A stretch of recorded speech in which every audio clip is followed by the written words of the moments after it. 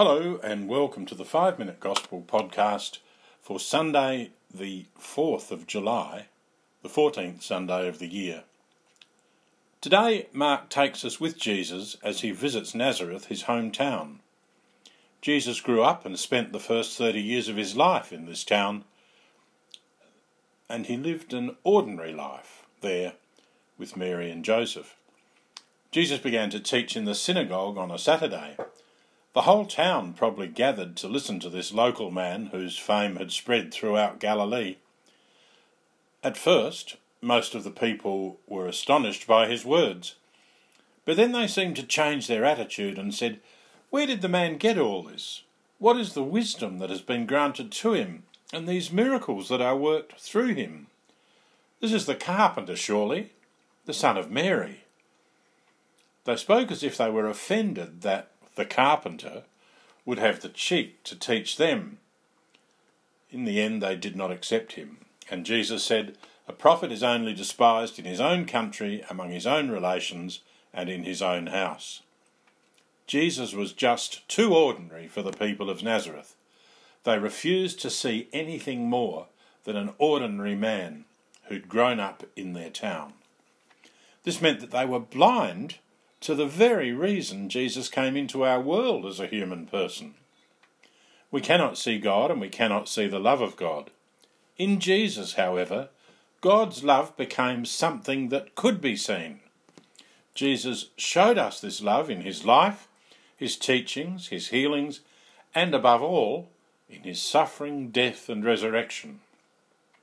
Pope Francis speaks of the incarnation, Jesus becoming human, as the unsettling event of a God made flesh who thinks with the mind of a man, works and acts with the hands of a man, loves with a human heart, a God who struggles, eats, and sleeps like one of us.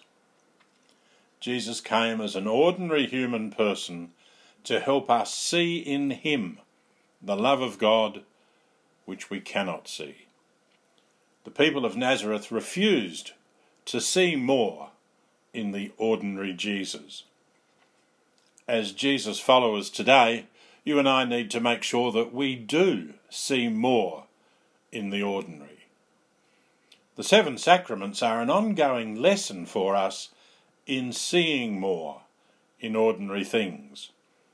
We use ordinary things we can see in the sacraments to show us things we cannot see.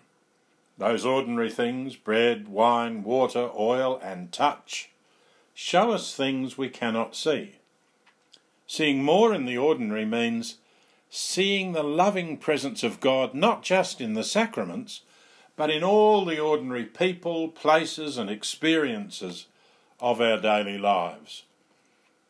A great practice is to stop at the end of each day, look back over the past day, and ask ourselves where was God in my life today? Where was God in my life today? Go through the day and see the good things that happened. Look at what you did, the people you met, the friendly chat, the unexpected thank you, or a kind smile from someone, or someone you smiled at. Pay attention to the little things a nice meal, a great sunrise, and any other things that made you happy, pleasures. These are all signs of God's presence. Thank God for them every day. Spend a little time then seeing what was not so good about the day, perhaps some fault or failing on your own part or sin, and ask God's forgiveness. Then finally ask God's help to see his presence in the day that will come.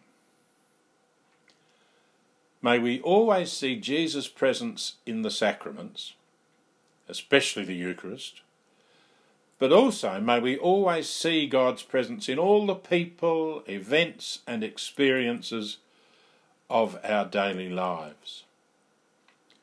Lord Jesus, help me to see more in the ordinary Help me to see more in the ordinary every day.